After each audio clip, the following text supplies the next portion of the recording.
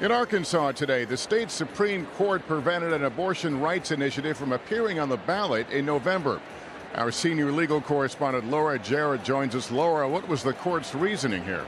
Lester, the high court there said it all came down to paperwork. Advocates for abortion had managed to secure more than enough signatures, more than 100,000 signatures, in fact, but the high court said they hadn't met the technical requirements, and so it will not appear on the ballot. That means Arkansas will not join at least a dozen states that have tried to get these abortion amendments on the ballots, including battleground states like Arizona and Florida. The upshot, of course, for women in the state means that the near total ban, which includes no exceptions for rape or incest, will remain on the box, on the books there. It's all, of course, been a major topic at the DNC where you are in Chicago, Lester. Thanks for watching. Stay updated about breaking news and top stories on the NBC News app or follow us on social media.